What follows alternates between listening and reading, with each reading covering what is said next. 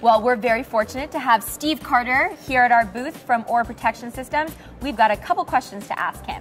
So, Steve, can you tell us a little bit about how the NFPA guidelines have affected data center containment systems like the ones that Subzero Engineering produce? The NFPA guidelines were established to help both data center managers and local fire authorities ensure a safe working environment in the data center and to protect the operations of the data center. Well, that's great. So, how does it work?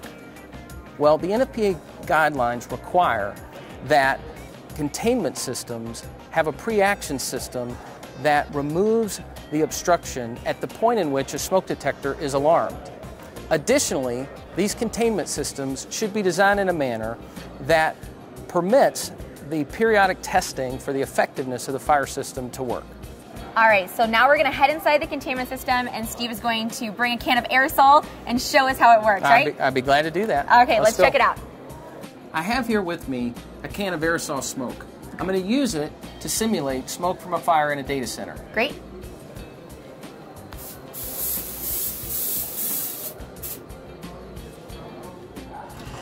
Wow, and there it is.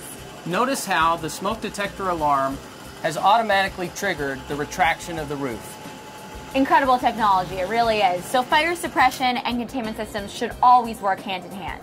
Yes, and when they do, it establishes a safe working environment and protects the data center operations. Very important. Thank you so much for stopping by our booth, Steve. We appreciate it. You're welcome.